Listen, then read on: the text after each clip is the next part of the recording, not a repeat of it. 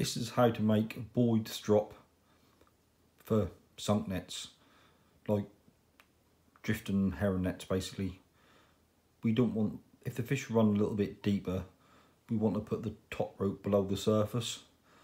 A lot of the time, with the shallow ground where we are, only put a three foot strop on them.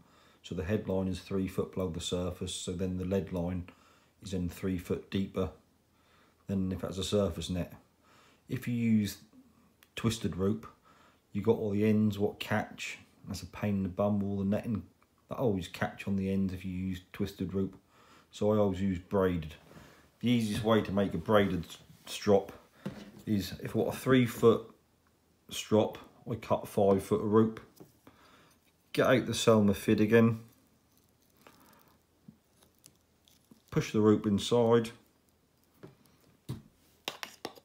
go through the buoy.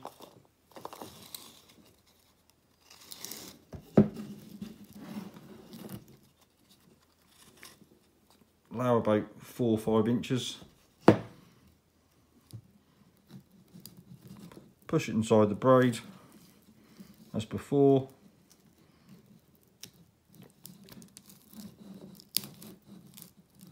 Pull it through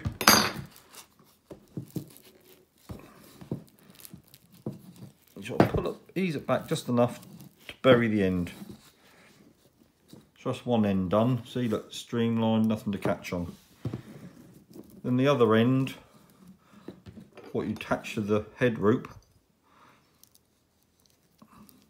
all you need to do is splice a loop on it. Obviously, you want the loop big enough to get the fluke through. So I'm just going to splice another loop in.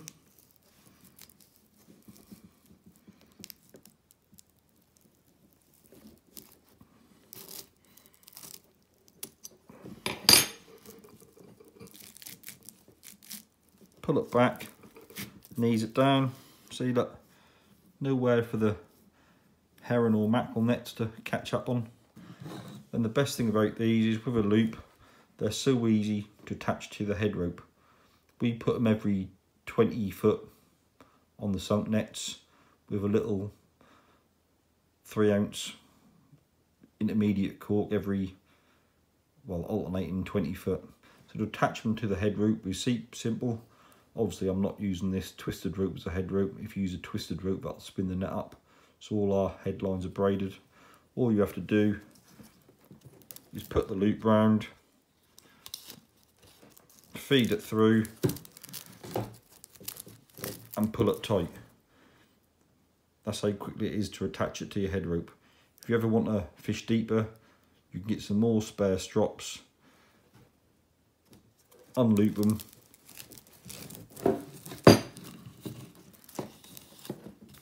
take them off and swap, swap the swap, swap the strops over. Really simple, nothing to catch up on, nice and neat.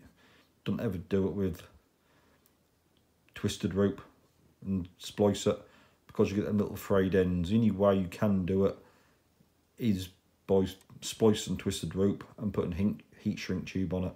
That's a lot more faffing about.